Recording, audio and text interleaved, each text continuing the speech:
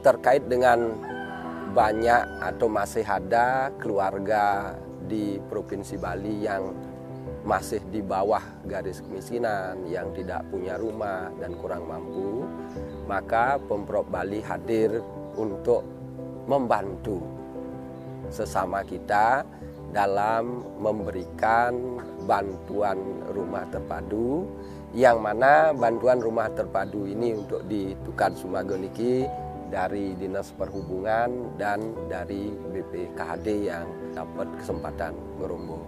Mudah-mudahan apa yang diberikan bisa bermanfaat untuk lebih mensejahterakan dan mensetarakan dari keluarga yang kurang mampu yang dibantu hari ini dan bisa naik menuju ke tingkat sejahtera dan selanjutnya bisa bersama-sama untuk membangun Bali. Dari Bu Kadis juga akan menyerahkan bantuan berupa sembako dan yang lainnya. Sekali lagi mari kita bersama-sama untuk melakukan ngerombok bagi kawan-kawan kita yang masih dalam kesulitan. Sehari-harinya beliau pekerjaannya buruh serabutan, juga tukang kadang-kadang seperti ini ke.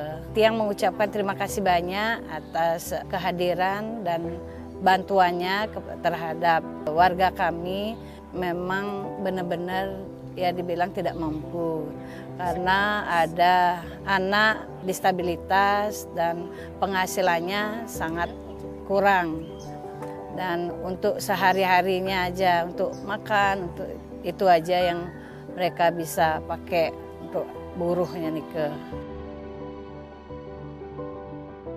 Terima kasih banyak kepada pemerintah Provinsi Bali yang sudah hadir ke desa kami, Desa Tukat Sumage, Kecamatan Groga, memberikan bantuan kepada warga kami. Semoga bisa bermanfaat dan nantinya mudah-mudahan lebih banyak lagi bantuan yang bisa datang ke desa kami karena desa kami cukup luas dan masih banyak sekali penduduk miskin. Ya mungkin dibilanglah masyarakat yang benar-benar tidak mampu dan kemiskinan yang ekstrim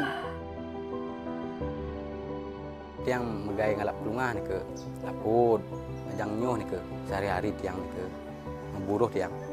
Harian tiangnya ni ke 70 ni ke sehari sehari tiga hari kerja ni ke tiang dan tetap ni ke tiang. Penuh dapur untuk anak tiangnya ni ke sehari-hari meribas ke.